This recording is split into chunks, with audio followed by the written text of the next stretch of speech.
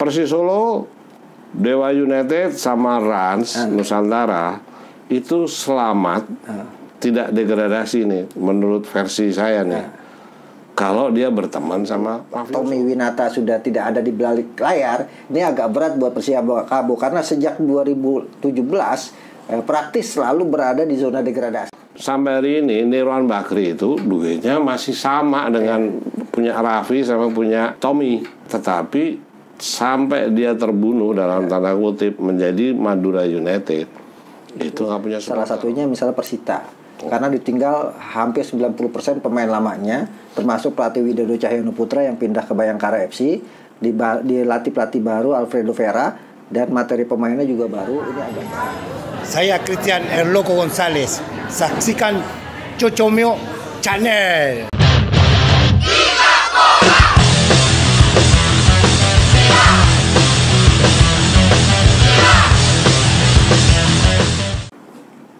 Bravo Cocomeo Channel.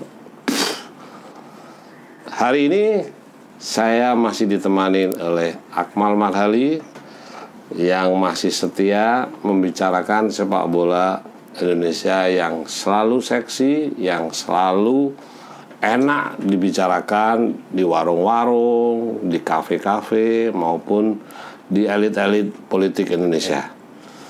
Hari ini menjelang kompetisi Liga 1 Indonesia 2022 2023 itu yang paling menarik besok ini adalah tiga tim promosi ini menurut Akmal nih nasibnya sama dengan tim-tim yang cuman numpang lewat Ya. ya kan nah, itu menurut Akmal gimana nih Ya ini menarik kan ada tiga tim uh, promosi dengan uh, gambaran yang berbeda. Pertama Persis Solo juara Liga 2. Ini kalau bicara ini tim punya nama besar lah gitu kan. Uh, Punya sejarah besar. Punya sejarah besar. Pendiri PSSI. Pendiri PSSI juga dan juga uh, pengoleksi trofi juara paling banyak waktu zaman perserikatan tapinya. Nah, ketika Liga Indonesia ada tapi uh, muncul kemudian justru persis prestasinya naik turun. Bahkan in, uh, 2007 dia terakhir uh, tampil di Liga 1 atau divisi utama baru sekarang promosi lagi. Punya sejarah. Yang kedua adalah Dewa United dan Rans.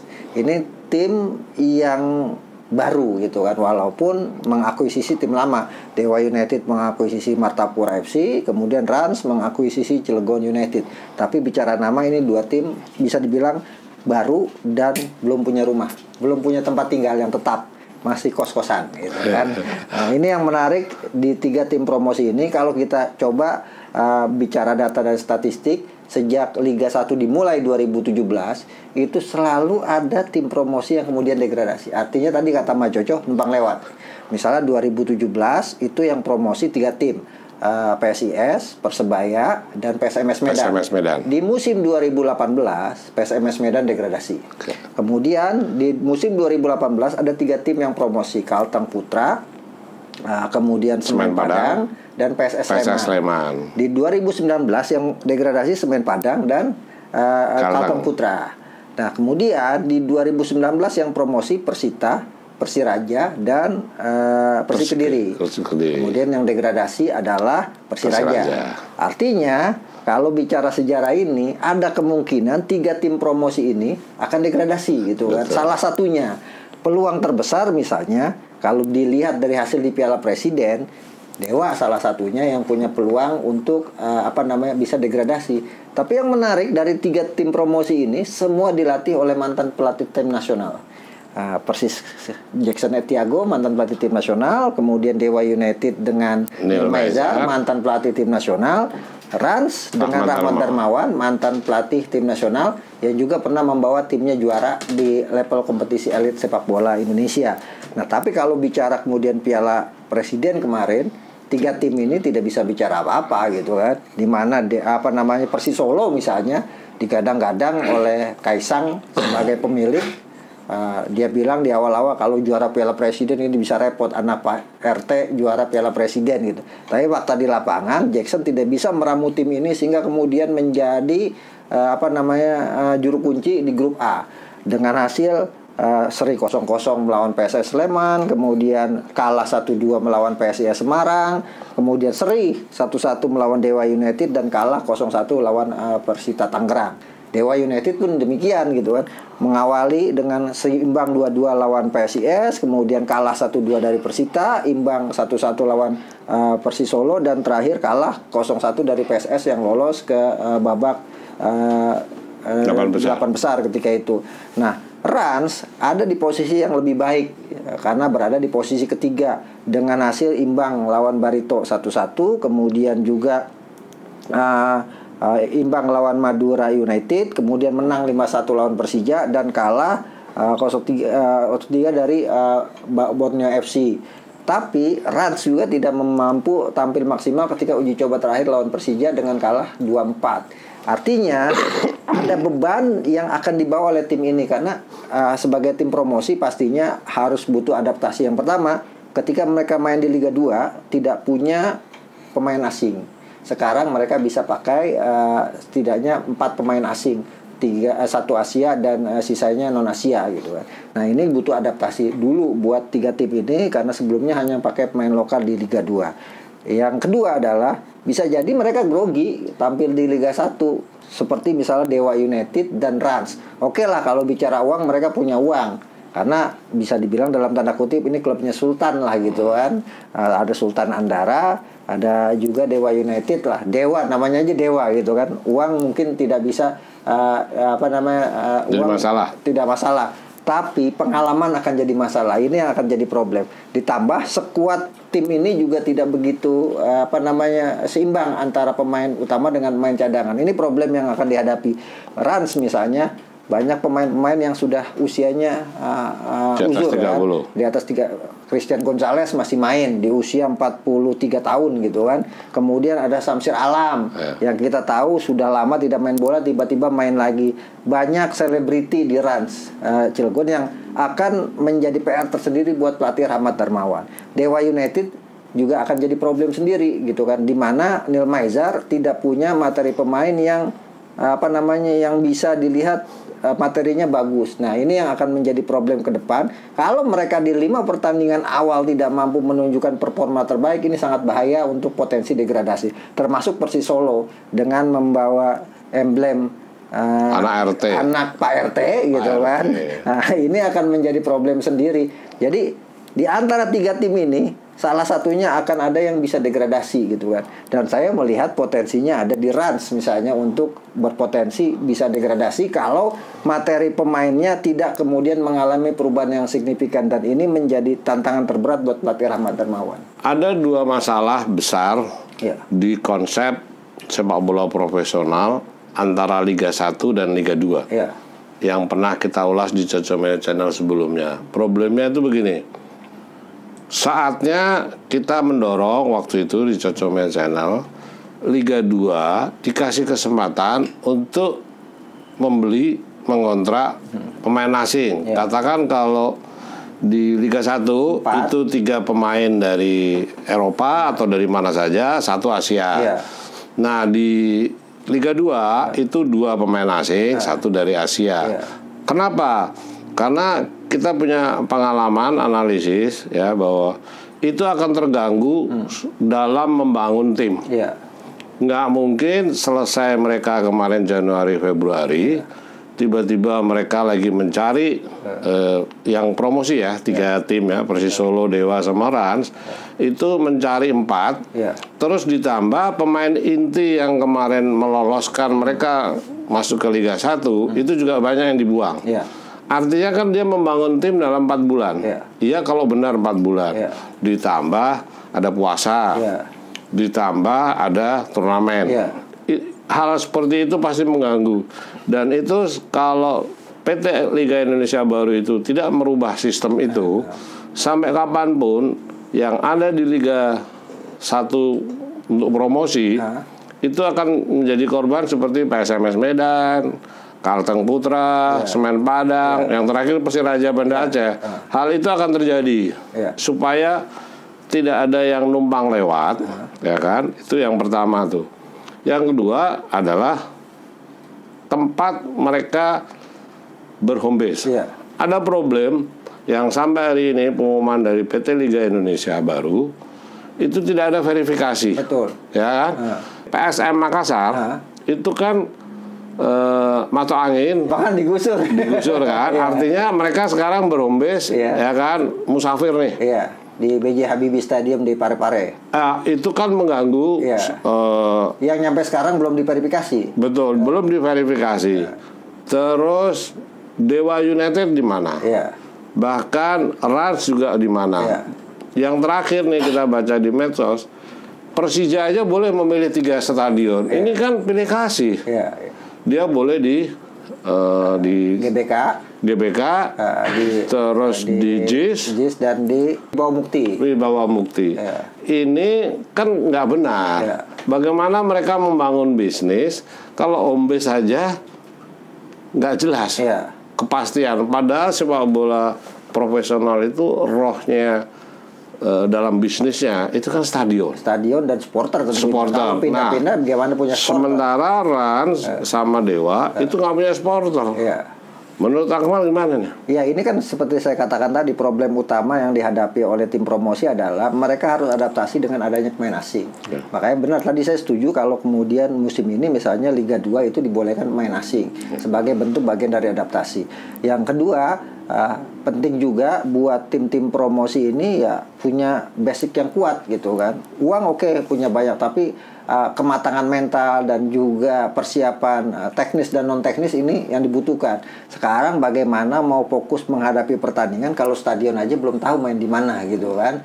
Dan apa namanya bagaimana mau menghadapi lawan sebesar Persija misalnya atau yang punya supporter banyak kalau mereka belum pernah siap dan belum pernah merasakan bagaimana main bola dengan supporter yang jumlahnya besar. Ini problem untuk tim seperti Rans dan Adewa United. Karena itu ke depan eh, ini kan tim selebritis nih Rans gitu kan. Harus mampu menunjukkan bahwa mereka punya supporter bukan cuma di media sosial gitu kan. Tapi supporter nyata di lapangan. Dan ini harus dibangun di engagement supporter mereka di wilayah tempat mereka berhome base. Yang sayangnya sampai sekarang masih berpindah-pindah Eh, Dewa United. Eh, belum jelas karena nggak mungkin dikasih misalnya Indomil Arena karena di situ markas Persita walaupun berhome base di ini di apa namanya berhome base sama-sama di wilayah Tangerang. Nah ini yang problem yang dihadapi yang harusnya dari awal LIB juga saklek gitu kan. Ketika ada tim promosi kemudian tidak memenuhi syarat syarat lisensi klub profesional harusnya tidak diloloskan walaupun mereka sudah promosi gitu. Tapi kan sepak bola kita ini sepak bola negosiasi gitu. Ya, ya, ya. Siapa dekat siapa, siapa punya siapa dan siapa suka siapa gitu kan. Nah, ketika itu kemudian berperan, objektivitasnya menjadi luntur gitu. Nah, ini yang menjadi problem. Kalau kemudian dari awal disepakati dan diketatkan, saya pikir semua akan memenuhi aturan-aturan itu, tidak kemudian bisa memilih seenaknya dan sayangnya LIB juga nggak sigap. Sekarang bagaimana mau kompetisi 23 Juli ada beberapa stadion yang secara nyata tidak lolos verifikasi harusnya gitu kan. Karena verifikasi yang paling penting salah satunya yang paling simpel adalah soal lampu penerangan. Ada sejumlah klub yang lampu penerangannya itu tidak maksimal gitu, tidak memenuhi standar. Yang paling mudah adalah standar apa sih untuk lampu penerangan? Standar yang paling gampang ketika main malam itu udah nggak ada bayangan. Nah itu standar lampu penerangan yang bagus. Nah ini problem. Kembali lagi kepada masalah teknis adalah Dewa United, Persis maupun Rans tidak punya komposisi pemain yang menurut saya punya pengalaman dan punya mental yang bagus bermain di Liga 1, liga tertinggi gitu kan. Itu ini bicara teknis, belum lagi nanti non teknis yang Mbak Coco lebih paham. Nah, ini yang kemudian menjadi problem. Mereka akan bersaing dengan tim-tim yang sejauh ini juga persiapannya kurang maksimal seperti Persita, Persikabo, kemudian juga Barito Putra dan uh, Persik Kediri yang secara materi pemain juga hampir sama dengan mereka cuma perbedaannya mereka ini sudah, Sudah- punya pengalaman di sudah Liga lama, 1. ya. Nah, balik lagi ke menurut saya kalau menurut saya ini di antara tiga tim Dewa United, Persis, Rans itu akan ada yang degradasi antara Rans atau Dewa United. Nah, Persis kemungkinan masih dalam posisi yang aman kan apa namanya karena dia setidaknya punya pengalaman dan punya sejarah lah gitu. Nah, ini yang menjadi problem adalah menurut Mbak Coco secara non teknis gimana ini tim promosi ini? Eh, mungkin saya tambahin lagi soal dunia eh, kepemilikan pengelolaan klub. Ya. Masih ingat kan yang namanya Nirwan Bakri Iya. tahun 86 Ya. itu satu-satunya di zaman itu yang mampu membangun klub profesional. Iya. Dia BOT Sanggerahan Iya. Lebak Bulus, Iya. 20 tahun. Iya. Dalam posisi start lapangan saat itu udah kacau balau lah, Iya. dibangun. Iya. Artinya dikelola 20 tahun, Iya. ya kan? Punya ibaratnya nih kalau zaman itu ada sultan, Nirwan Bakri sampai hari ini masih sultan. Masih sultan. Ya kan? Terbukti dia membangun tim, semua materi pemainnya, Ya. semua yang junior dari PSSI pelajar yang Ya. juara Asia, Ya. ditambah semua pemain nasional. Iya. Terus ditambah pemain UMS di Iya. zaman itu. Iya. UMS 80. Gabung di situ jadi satu. Juara, juara. Tapi sampai jadi namanya Madura United, Iya. itu nggak punya supporter. Iya. Jadi Rans sama Dewa yang katanya juga Sultan Iya. sampai hari ini Nirwan Bakri itu duitnya masih sama dengan punya Raffi sama punya Iya. eh, Tommy ya kan yang punya Dewa Iya. ya kan? Tetapi sampai dia terbunuh dalam tanda kutip menjadi Madura United itu nggak punya supporter. Jadi hati-hati nih Dewa United sama Rans. Iya. Itu Harus belajar dari Pelita. Pelita Pelita tim sudah musafir lagi Iya, musafir pindah-pindah Cilegon, Solo, Cilegon, Karawang, Ya. Bandung, Purwakarta. Purwakarta, Bekasi cuma nama doang gitu iya loh. sampai akhirnya jadi Madura United. Nah itu yang menurut saya hati-hati Ran sama Dewa United. Nah tapi kalau bicara non teknis seperti pertanyaan Akmal tadi, dalam 20 tahun terakhir sepak bola itu dikuasain oleh mafioso, kartel. Persis Solo, Dewa United sama Rans Nusantara itu selamat tidak degradasi nih menurut versi saya nih. Kalau dia berteman sama mafioso. Ah. Nah, di 18 anggota Liga 1 itu yang tidak masuk dalam gerbong mafioso kartel itu itu PSM Makassar, Ya, Madura United, Ya. Persibaya Surabaya, dan Persikabo Bogor nih. Ya, ya. Yang lainnya nih dari orang-orang di belakang eh, pemilik dan pengelola eh, dari 14 Ya. klub itu itu semuanya saling terkait. ya, Ada yang bermain di batu bara, ada yang bermain di eh, rumah judi, Iya. ada yang bermain di bursa eh, bursa rumah eh, bursa saham. Iya. Nah, seperti itu. Nah, ini ada 14 tim nih. ya, Sementara lawan dia 4 nih.